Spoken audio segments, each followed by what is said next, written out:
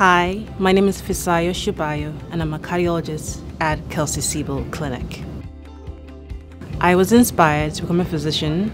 I deeply cared about the people around me, and I thought science and medicine was a way to effect change in the world. Medicine is the one profession where you can truly change lives, and I feel privileged to be able to practice medicine. I selected cardiology because I was deeply moved by how much cardiovascular disease contributes to the welfare of people.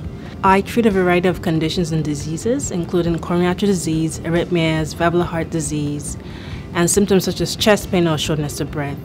I build trust with my patients by making sure I find out more about you as a person, being honest with you about what my thoughts are about your condition, and then come together with you to make a plan that works for you. My approach to patient care is holistic and evidence based. I believe that you should be able to make decisions affecting your health, and along with my expertise and knowledge, we can come to a solution that works best for you. I am holistic in my thinking, I'm evidence based, truly care about people I look after, and I'd like to extend the same to people around me too.